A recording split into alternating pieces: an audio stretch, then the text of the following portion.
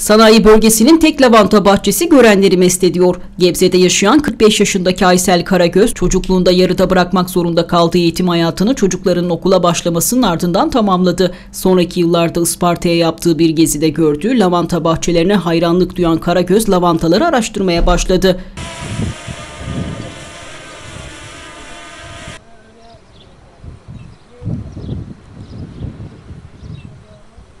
Uzun bir araştırmanın ardından Karagöz sanayi bölgesinin ortasında bir lavanta bahçesi kurdu. Bahçesini misafirlerin hoş vakit geçirmesi için çeşitli dekorlarla da süsleyen Karagöz yetiştirdiği lavantaların yağını satarak aile bütçesine katkı sağlıyor.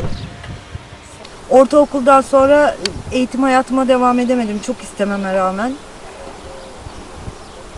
Ben de evlendikten sonra çocuklarım okula başlayınca bir boşluk oluştu. Ee, çocuklarımla birlikte liseye başladım. Dışarıdan liseyi bitirdim. Liseden sonra üniversite sınavlarına girdim, üniversiteyi bitirdim.